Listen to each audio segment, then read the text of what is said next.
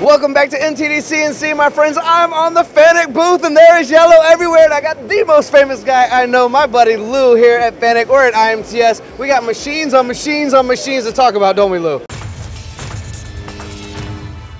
Yeah, we do. And uh, I really, really enjoy my time talking to Tony at IMTS. This particular IMTS, we're very, very excited. Um, as you can see, Fanuc's booth's been revamped. We're showing incredible technology here. Um, my pers my per, uh, perspective on Fanuc's goals and objectives here are to make the best experience for our customers. Uh, we have an obligation. We want the best performance, the best success. We want our customers to uh, have nothing but uh, pure satisfaction with our products. So we're really, really excited. Uh, a few things about Fanuc. You know, number one, our products, uh, the service and, and capabilities speak for themselves, but service for life. So that's really important on how we how we apply and deploy our products. What we're going to talk about first which I'm very excited to, to finally be able to, to, highlight this. We've been talking about it and waiting for it for quite some time. Is our new uh, uh, 28 tool long bed uh, 500 Y500 travel machine. So I'll be your Vanna White today, Lou. Yeah, it's beautiful, right? 28 uh, tool positions, high speed tool changing um, from position to position, uh, half second incredible, incredible performance on this machine. And what you can see inside the machine that we're highlighting is a DDRT.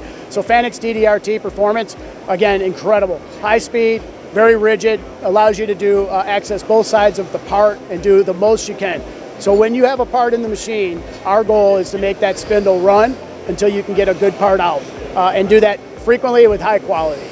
You know, Lou, a lot of these interviews I have to ask follow-up questions, but I think you did such a good job. I could just move over here to Steve, right? You can. We're going to go over here. We're going to see something also equally important here for us. Is some five-axis processing of some larger parts for Fanuc. Awesome. My buddy, Mr. Steve Bond, my brother from another mother. It's How good to you, see you. Friend? Always, Always good. good. You, Always a pleasure talking with Lou. For the audience watching, we're going to catch up with him again in just a minute. Yep. I promise. But we're with Steve right now. We just went over a new machine, 28 tools. Yep. Very excited. Watch it flipping around. What are we looking at here, Steve? Tony, we got another really exciting uh, uh, demo that we're doing on today.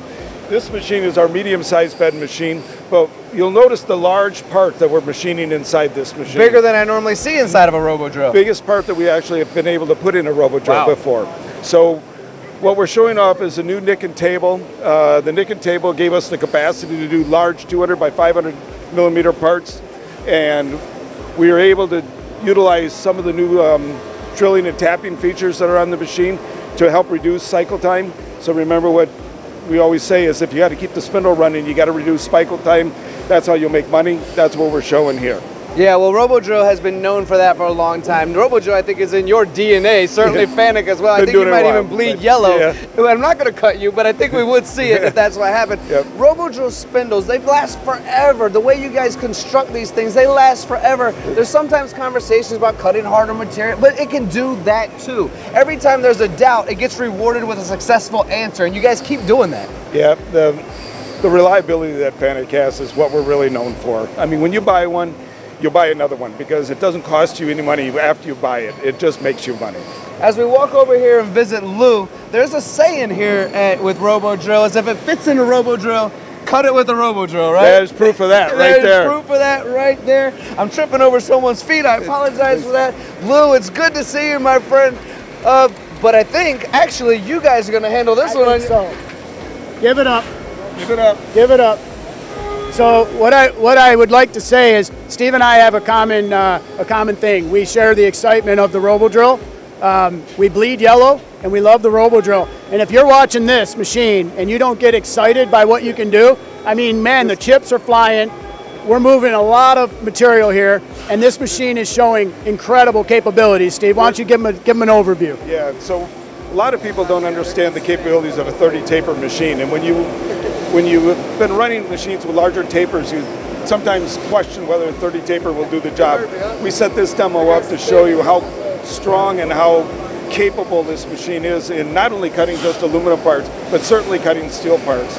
Some of these cutters like this right here, you can see the amount of chips. Some people think that's an aluminum part. We got to remind them this is a steel part. You'll notice that the metal removal rates are incredible for this style of machine. And most people aren't used to seeing that. The other part of it is we're showing some unique capabilities of doing four-axis machining with uh, TCP. So we're actually making a grooved part with a flat end mill using TCP. Unique application, people hadn't thought about it before, but we wanted to show the capability of the RoboDrill and some of the uniqueness that you have built into this control that allows you to do those things. Come on, Steve. I'm coming. We're going to go to our last machine here, but this is a this is a concept cell that we're showing some incredible technology that Fanuc has. Uh, not only, oh wait, wait a minute, we might want to bring oh, the I host. get my microphone yeah, back, Steve? I got to say something before you go real quick for the audience watching. I am very happy you both love Fanuc, otherwise I'd be out of a job already. Yes. That's what happens when I take my mic, they take my microphone from me. All right, Lou, we are on the last yes. cell here, Steve. Yes. Very well done, Thank by the way. Thank much. you for that. Yep. This looks like a lot of fun. This looks like a complete cell setup, ready to go. Actually, very practical as well. Do you yes. want to describe it to the people yes. watching? Yeah, so really what we're highlighting here is really a common approach to doing all kinds of uh, uh, applications for customers. So we're highlighting a, uh, a material storage area where we're bringing in raw materials. We're bringing that in on an AMR. That AMR will come over to this uh, particular uh, CRX robot, which loads and unloads uh, finished parts and then also does a quality inspection. Then it returns to the other robot uh, that is doing a quick wash uh, over there on the, on the far side. And then when that is completed, uh, the robot does a quick uh, vision inspection and a polishing uh, to hand off to a customer. So uh, Fanuc has been in the process of machining thousands of these here today. Great giveaway. I mean, if you zoom in on this and you look at how cool this is, I mean, this is uh, this is quality giveaway here. So come into Fanuc and get your giveaway if you're if you're watching. Um, I do want to highlight one other thing, really, really, really cool.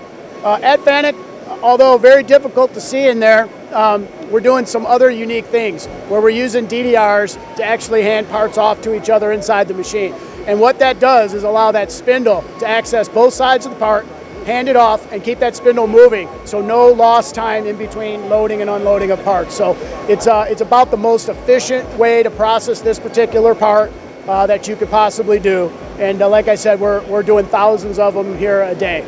Lou, you nailed it in the sense of load and unload time, right? I mean, we always talk about the efficiency of cycle time and multitasking and getting more done and keeping the spindle turning, but that load and unload time can be a killer sometimes. For everyone who's watching, you guys know Fanuc, you guys know Lou. Let's continue to grow. Let's continue to find the reliable partners that matter. And Lou, can I keep this? You sure can. Absolutely amazing. Yes, he did steal my microphone. I'm gonna get it back now, nah, Lou. You know I like having you on camera. Thank you all Thank for you watching. If you've joined us today, manufacturing cannot manufacture more time. So if you spent some with us, thank you for doing so, and we'll see you again soon. Thank you.